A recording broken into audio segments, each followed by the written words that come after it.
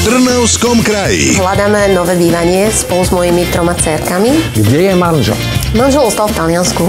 Budeme hľadať štvorizbový dom. Potrebujete veľký pozemok? Chceli by sme si doprieť bazén. A koľko peniazy do toho chcete investovať? Tých 290 tisíc. V talianskom štýle. Petroviamo la nuova casa Sí. Prima possibile. Nové bývanie. V nedeľu o 17.55 na Jojke.